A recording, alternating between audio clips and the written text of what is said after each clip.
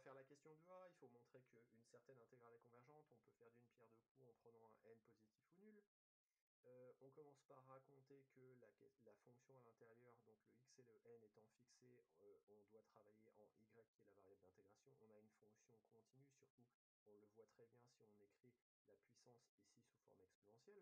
C'est continu sur 0,1 ouvert en 0. Donc notre seul point à problème potentiel est en 0. Ok, ça c'est fait. Donc maintenant en 0 un équivalent. Le boulat envers 1, donc c'est l'équivalent. L'équivalent du produit, c'est le produit de l'équivalent. Donc on a un équivalent qui est un monôme. Il ne nous reste plus à dire que ça, c'est une intégrale de Riemann.